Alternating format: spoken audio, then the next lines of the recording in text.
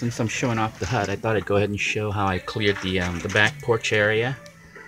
I basically um, shoveled everything back. I was able to borrow I was able to borrow a shovel from my ex-girlfriend, um, and that allowed me to um, dig up all that dirt and stuff and overgrown weed and shove it back so we have a defined porch area now.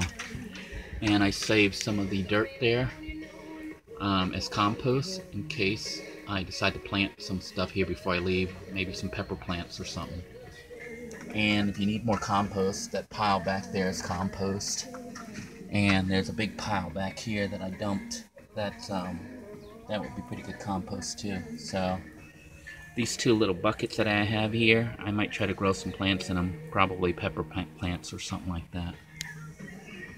Um, but it's uh, pretty comfortable, and if you're out here with your radio on, you know, it's uh, home away from home.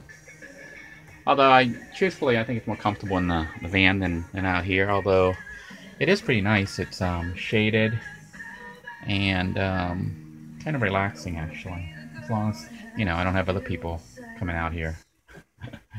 or the sheriff or city police pulling up on me. But, um, the hut has really shaped up quite a bit more than I had um, envisioned.